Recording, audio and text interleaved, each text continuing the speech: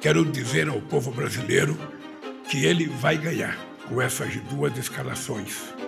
Uma na Suprema Corte e a outra na Justiça. Hoje é um dia muito feliz para mim. Feliz porque eu estou diante de um companheiro que está prestando um serviço extraordinário ao país, à justiça brasileira, e que acertadamente o Congresso Nacional homologou para que seja, a partir do dia 22 de fevereiro, um novo ministro da Suprema Corte. E feliz porque eu tenho do meu lado esquerdo um companheiro que foi um extraordinário ministro da Suprema Corte. E ele ontem me comunicou que ele aceita ser o novo ministro da Justiça desse país.